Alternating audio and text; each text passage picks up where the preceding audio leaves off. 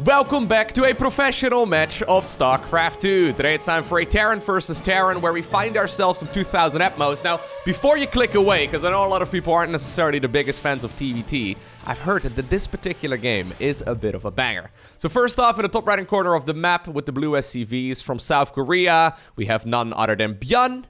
And apparently the man we gotta be paying special attention to well, I guess I accidentally made a pun already. It's kind of hard to uh, to avoid those. Anyways, we're looking at Special's main command center. Apparently, from what I've heard, Special plays a bit of a funky Terran style in this match. So, we'll see. Obviously, the standard in this matchup is to go for the good old Marine Viking-based unit composition. Then you go into the Raven, of course. You can go into Vikings to try and get that air superiority. And then eventually you can sort of go into, like, Liberators and all the rest of it. But generally speaking, the early game of TVT, it's it's very well figured out. That I've heard at the very least that apparently Special decides to mix it up. I guess we'll see. Anyways, so far, standard openers from the both of them. We've got double gases in the main base right now, and players are going to be opting to go for that command center on the low ground. Couple of Reapers coming up. Nothing out of the ordinary there. A little bit of a Reaper battle at the front. Looks like ByuN managed to get the very first shot in.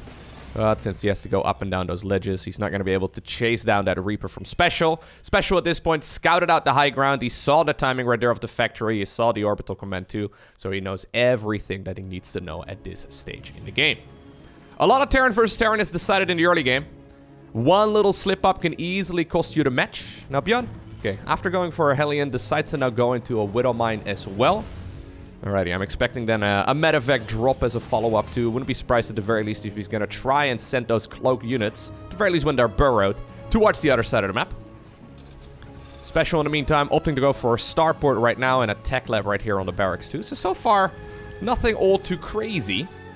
Ravens are obviously the main amazing unit in this matchup getting a Raven out is, uh, yeah, super important, especially in the earlier stages, just because it's got so much utility, but also in the mid game and also in the late game, honestly. We see a lot of late game right now in Terran vs. Terran where the guys are just trying to, you know, out-Raven the opponent. Basically, the amount of Ravens you want to have is your opponent's amount plus one.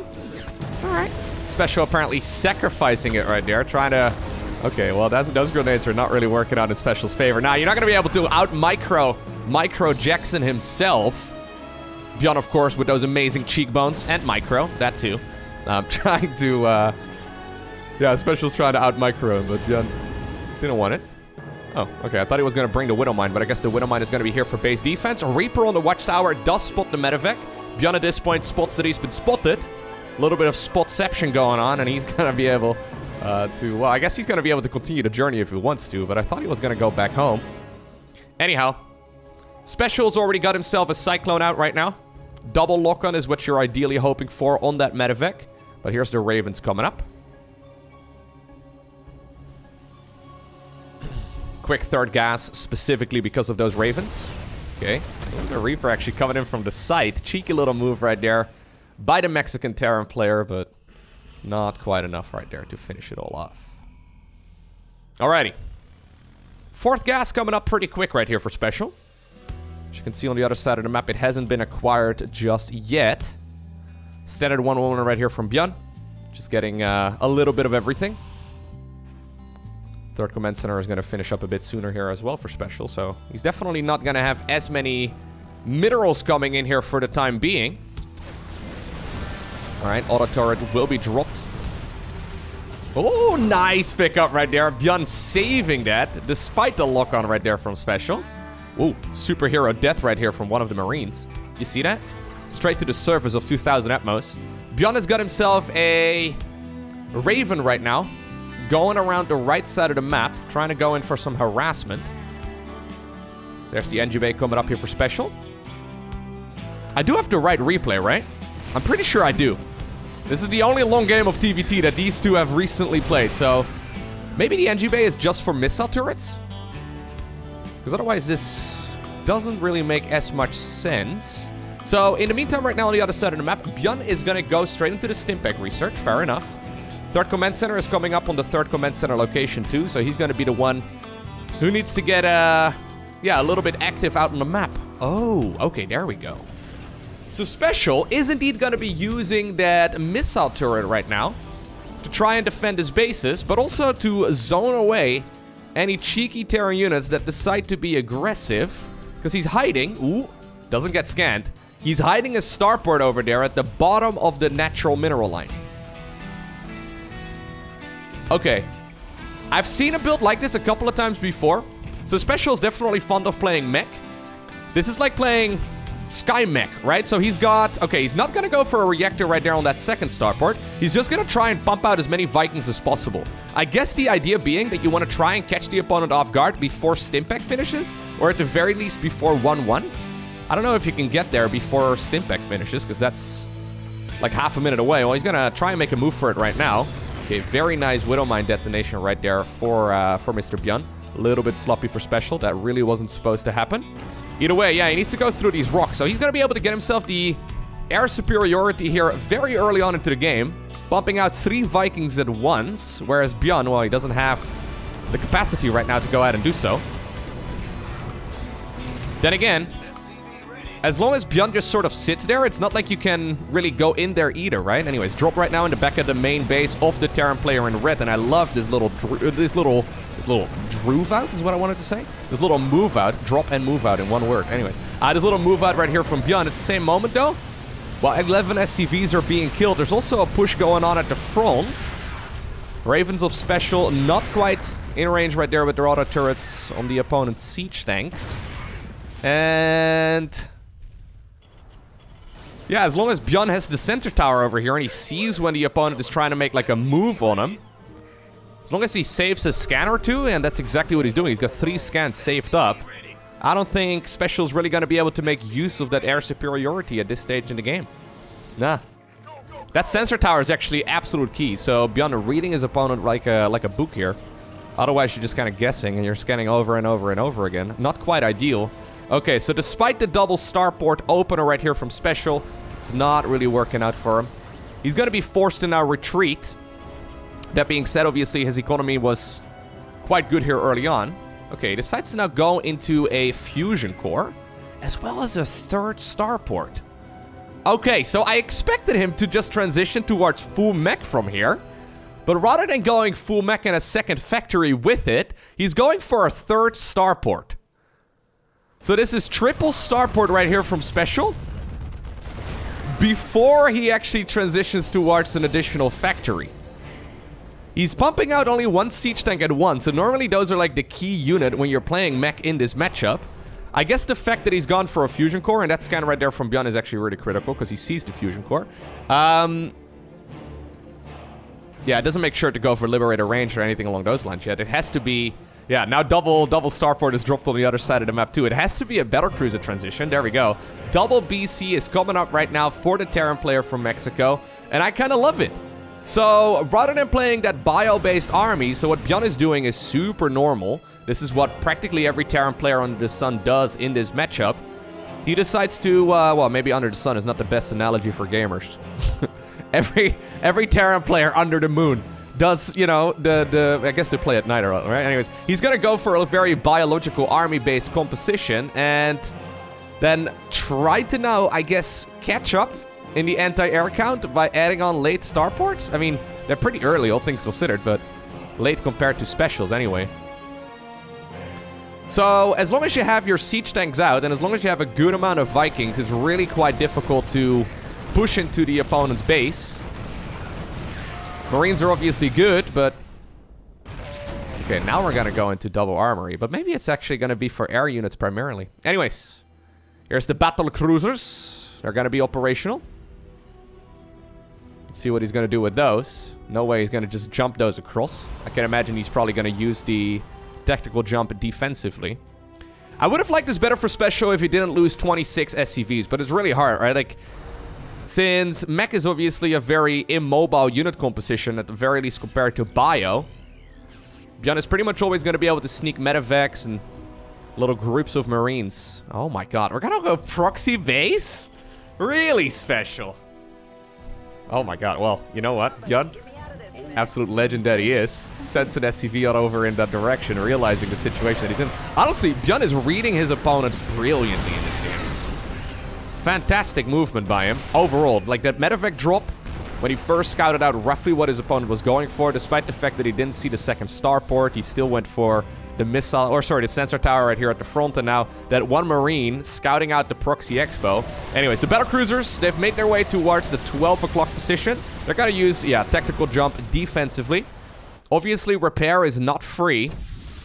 So this is something to keep in mind, because every time you see those units jumping, yeah, sure, they don't die, which is the most important part, but it's not like repairing them back up to full is you know, without any risk either. So he is indeed prioritizing air upgrades. Look at that. So we have double armory, but he's focusing on air upgrades primarily. So no siege tank improvements or anything along those lines. I don't know if it's good, but I like it. I mean, there's no way you're going to break this. Like, at this point, ByuN is certainly not going to be able to break this many siege tanks. You can't really go into, like, your mass, uh, like, what I call it, Raven production here either to try and go for disables. He can't really go into Liberators either to try and counter those siege tanks. The, oh my god, well that choke point is very dangerous, ByuN. Don't go there. Alright, yeah, if he, uh, if he's not paying attention, if he's not careful, ByuN might actually just get overwhelmed. Anyways, here's once again that bio army though. Ay, ay, ay, trying to deal as much damage as possible. SCVs pulled to the front to try and soak up all of that damage. Eventually, though, the army in blue is going to be able to claw their way through it. At the same point, Special going in for a full counterattack. Losing a command center over here is not ideal, but once again, it's 20 additional SCVs. I mean, you don't really want to lose the command center, obviously. he's dealing a lot of damage on the other side of the map in the meantime, too. Battle cruisers at this point are going to be the main source of getting rid of those Marines, and at this point, it looks like the Marine count is indeed gone. Jimmy over there getting picked off. That means the Marauders and the Siege Tanks can be killed quite easily here by the BCs. The same point, though. Uh, these units are still dealing a lot of damage. Upgrades not quite done yet. Ship weapons level 1 just completed here for special, so that I think is why he decided to fly away, even though he had the superior Viking count there for a while. Bio units here from ByuN, I guess together with a couple of siege tanks trying to retreat. But special, actually, I think... Hmm getting probably the better end of that trade as far as like army units go. But I'm not entirely sure about the economies, right? So ByuN is still happily expanding, taking a, full horizontal line right here. So grabbing every single base that's available to him right now. He's still keeping track of what the opponent is up to. Um, it's really the worker count that ByuN's been harassing brilliantly. So 54 SCVs have been killed. Now Special has been making a ton of them. He's not even adding on a Banshee. Is that a misclick? Almost feels like a misclick. There's no way that's really going to work out. Once all of those units are fully upgraded, though, Special's army is going to pack an absolute punch. So, battle cruisers, the way that they work is that every single missile they shoot, and they shoot very quickly, uh, it's going to get, well, with plus one, plus one damage, with plus two, plus two damage, with plus three, plus three damage. So, Essentially what it comes down to is that units that attack very quickly, like for example the Battle Cruiser, they benefit from those upgrades tremendously. ByuN is going into 3-3 research right now for the Marines. Another very fast attacking unit, but even with full, you know, armor upgrades and with combat shields and all that, they still die pretty easily if the opponent has enough well, I guess even battle cruisers, although full battle cruiser is a little bit tricky. Siege tanks primarily is going to be their counter. Special, though, not upgrading any of the siege tank attacks.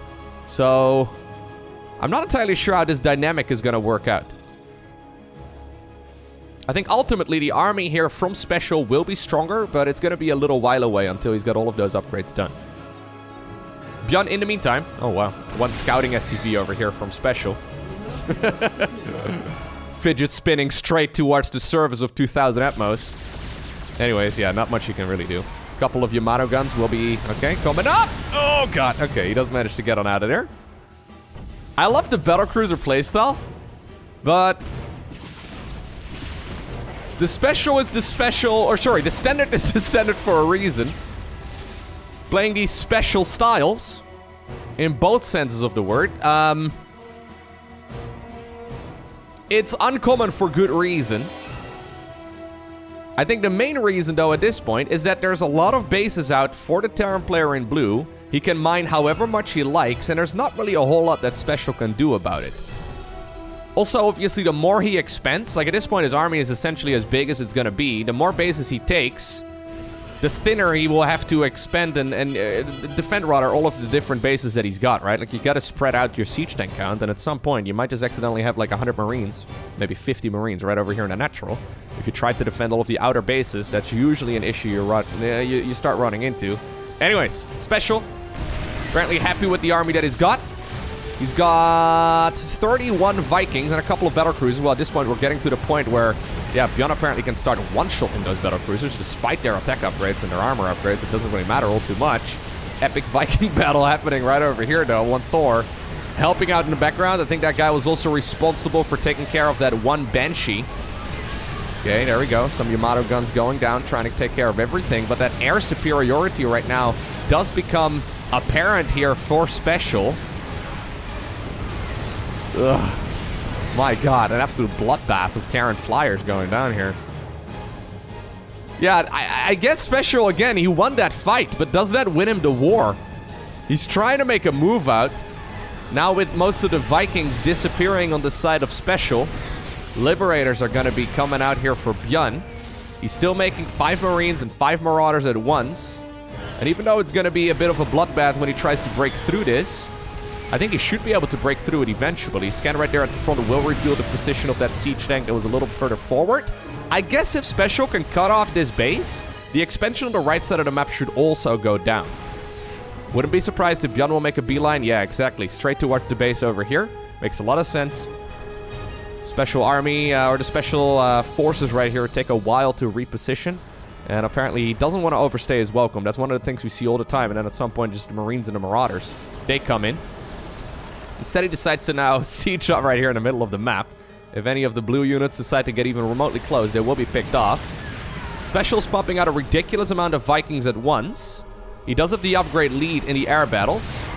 Okay, Liberators are getting picked off. One shot, just like that. Okay, that Thor over there, a little too far forward. Should be picked off. Nicely done. One tank over here from ByuN left behind. This is one of the things he likes to do, but it's barely out of range. I think it will get popped. Battle cruisers here moving on over towards the right side. Trying to get that base. SCV over here. My god, I just see units flying to the surface almost. Can you fly underwater? Kind of. Eight Vikings at once. My god. Okay. So this is a full air mech army with siege tanks for support. Sky Terran, I guess is how we should refer to it. I'm a little concerned that at some point, though, all of those tanks are going to be caught unsieged. And ByuN just absolutely clears it up. I mean, obviously, that's what you're trying to avoid at all costs. Those two battle cruisers are actually putting in some work right now. They don't have a lot of kills, but they did get a command center just now. And now the SCVs are starting to get picked off, too. ByuN also awkwardly trying to add on a couple of those medevacs into the mix, but I think he's only got, like, yeah, he's only got three. Tactical jump. Get out, get out, get out. Oh, he's decided to join right now with the main army, trying to catch some of those Terran units in blue off guard, and I love the move. Really liking the movement for Special in this game. Really liking the strategy. This is not something I've seen too often. At the very least, it's been a while. Now, I don't watch that many Terran versus Terran either, so, you know, maybe that's the problem. But anyhow, sick move. Really cool play. Yeah, ByuN is slowly getting choked out in this game. We're nearly 20 minutes into it. This seems to be the moment where special strategy really is starting to work out. Then again, getting this army back home is going to take a while. He doesn't have that many ground units. He's only got seven siege tanks. Now, there's only one siege tank right here for ByuN, but he's still getting a lot of Marines and Marauders. I guess battle cruisers, dude. I would. Oh my god, he doesn't know about the base in the top left. Oh, special. Special didn't realize that that base was already taken too. He's probably thinking there's no way my opponent was that greedy, right? Otherwise, he definitely would have split. Probably the low HP battle cruiser to go after that expo right there in the top left. That's going to create a lifeline right now for ByuN. ByuN is moving aggressively on the map, which is why Special is slipping up. That's so many Vikings, though. Yeah, Marines on the ground, though, also helping out. One of the tanks not sieged up. Now the Marines are still going to start gunning down some of those Vikings, too. Vikings awkwardly have to move around here. One battle cruiser is going to be able to take care of I think the majority of those bounty units, yeah, with full upgrades, they're they're not gonna go down easily. Okay, no uh, no escape for those bad boys either. That moment when suddenly like 20 Vikings land right in front of your retreat path. Dude, he needs to take care of this base. ByuN is playing very slippery, right? He's playing a very sneaky style of Terran. And since he is so active out on the map, Special hasn't really had the headroom, I guess, to check for that base in the top left. I mean, that was a very, very greedy base. Especially considering he took it together with the one right over here. And speaking of which, there's another expo right in that location. Oh, they almost turned uh, into next door neighbors too, with Special taking this base.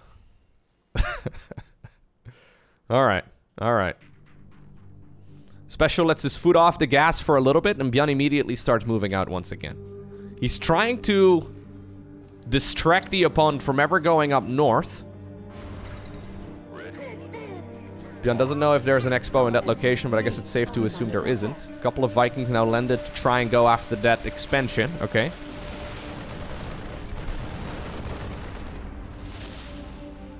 I'm starting to be concerned, though, for the siege tank count. Like, special really... Like, I would have loved to see a second Viking. Or, sorry, a uh, second Viking. A second factory. Both starts with a, a v, VF sound, I guess. Anyway, um... As a Dutchman, those are basically the same, okay? It took me years to get the hang of my V's and my F's. I still do it wrong all the time. You remember the hello everyone? I used to refer to or refer to my video videos as well. It's it's not. Anyways, in the Netherlands we basically use the same pronunciation. Now this is a nice catch right here from Special. A little bit funky, but he's got the smart servo, so his units will be able to transform from ground to air a little bit quicker. Some very agile uh, Viking pilots inside of those ships. I'm assuming they're in a little cockpit, but I believe the description in Wings of Liberty campaign kind of reads as if the, the Viking pilot is also changing positions. Anyhow, this is a good amount of damage. Now he's finally found out about the base in the top left-hand corner. Special. Again, manages to get out there once again. Vikings at this point, though, caught off guard there for a second because Special was so busy microing his units in the top left. Loses every single one of them except for this one. Okay, you gotta you gotta keep one of them alive to tell the story. That was a very expensive set of units, though, for Special to lose. Mostly because, oh my god, 103 Vikings and 98 killed on the other end. Especially since they take a while to bring out, right? It's, it's not a unit that builds very quickly. I would have liked to see a second factory, though, so we could see some additional siege tank production. I guess Special has been busy spending all of his gas. Maybe him taking this expo would have been really nice in the chaos of that fight. Anyhow, he wants to go for the high yield gas. Siege tanks need to be in the right place here in order for him to be able to take this location. Okay, tanks now siege up. They only have plus one though against plus three armored uh, bio units here. Yeah, I guess battle cruisers make the most sense. He really wants to go for a planetary on this location. Problem is, if you put all of your eggs and all of your siege tanks in one basket, your third base is going to be very exposed. This is not really a base that's mining anymore, but it's still an important location for the Terran player in red. Just having control of that is super important. In the meantime, though, Vikings heading on over towards the top left corner, and they're going to be able to take care of some of those SCVs in the top left, denying that base, going after the starport, or sorry, the, the factory structure names. Apparently, they're not my strong suit today. Anyways, they're going to be able to go after the command center. There you go. Planetary Fortress, not done yet. Honestly, the siege tanks need to be a little bit further up north. Yeah, ByuN doesn't really know though, so he's got to be very careful. Now he's taking the bases in the bottom right. I love the movement here from ByuN though. Like, I like the army movement from Special a lot, but the way in which ByuN is constantly expanding where his opponent isn't is fantastic. Really playing into the weakness of this Sky Terran army. That's a lot of dead SCVs though. Yeah. Okay. Couple of Yamato guns, and then teleportation. Vikings dealing some more damage up north. Now that bio army though. Okay, so this is what I was trying to refer to earlier. If you're going to try and expand all of the outer bases, you might just run into some issues over here. That being said, battle cruisers are ready to defend. Slowly, that battle cruiser count is growing. There's 300 gas each, so Special can't really afford that many of them. That's probably also the reason why we haven't seen another factory, because he just simply can't afford making that many units at once. Another command center gets killed here by ByuN, but again, this base at the 6 o'clock, it was already mined out. He's now going to try and take care of the bottom, or sorry, of the top left, while ByuN is mining the bottom right. Yeah. There's still quite a few SCVs remaining. He needs to move on over those uh, towards mineable locations. Okay, a couple of battle cruisers will go down, but it's at the cost right here of a ton of blue Vikings. Nice. really? Really? ByuN is thinking about starting up a command center right over there. Soon Special is going to be blocked when he tries to land that command center because command center pilots have hearts. They don't want to land on top of other units. Anyhow, the siege tanks have no such issues. Alright, so this base was mined a little bit here by ByuN earlier. Actually, for quite a while. Yeah, it's actually been quite a bit. Anyhow, gases now need to be acquired. That's the main limiting resource right here for Special's army. ByuN has plenty of gas to spare, mostly because he's going for a lot more Marines. Whew, alright. Looks like we're in the eye of the storm right now. We've had non-stop action the entire, well, last 20 minutes of this game. Now we have a bit of a moment to breathe. Special just found out about the base in the bottom right-hand corner, so he now knows that that expo is taken by ByuN. ByuN can obviously go for this one as well in a little bit if he wants to. He's got another command center close by, but I guess for now he doesn't have enough SCVs to mine. Um, in the meantime, Special's doing the same thing, but all the way in the top left-hand corner. Vikings moving on over in that direction. That is 17 versus 18. Vikings on the side of Special, though, still a little bit better upgraded, if I'm not mistaken. Yeah. He never started up plus 3 armor. That's actually... Well, I guess it's too expensive. Yeah, he's already limited as far as the gas count goes. This is a high-yield refinery right over here. So this gas is going to be mining very quickly, but it's going to also mine out very quickly. Basically returning uh, twice as much as a regular gas geyser would, but obviously there's only one gas geyser in this base. Um, yeah, ByuN actually never really mined these gases that much. So maybe getting a command center in that location is not a bad idea. Special instead, though. I don't know if he's the one that wants to put a... I think you actually might want to fly a command center over there for the gases at some point. ByuN trying to sneak out a Liberator. The air fleet from Special moving at the 6 o'clock position. God, this is a sick game. Like, Terran vs. Terran has a tendency to be quite lame. But it's also got so much potential. Like, it's one of the absolute coolest matchups in the game. When, you know, the game is cool, right? And that's not necessarily always the case. Okay, battle cruisers. One of them did not manage to get out of there. They're going to be able to take care of that Liberator that's denying mining, though. Bio units once again on the ground, providing a lot of additional damage here. Special, you don't have the superior numbers. Alright, the Liberator in the top left was indeed cleaned out. Okay, ByuN gonna go for one of the juicy bases. I don't think this expansion has actually been touched. No, full, uh, full resources right here. For the Terran player in uh, blue, I mean, normally this is one of Special's expansions.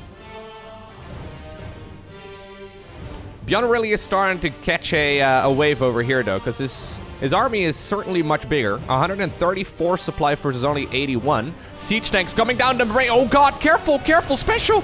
You can't lose those units for free. He had no vision anymore of his own natural expo. The base at the 6 o'clock obviously was destroyed. The third base was destroyed too. So Special just took a chance and decided to roll those tanks down the ramp. And that may have actually just cost him a loss here. Because losing those tanks here, I think he really needed those. There's not that many units to now prevent that Marine Marauder army from actually getting in. He does still have some siege tanks over here, okay. They came in from the top left. Still though, ugh, his entire production line is located in the main base, and with ByuN picking off all of those structures, Special has no way of staying in the game. But that was an amazing game. Well played to both.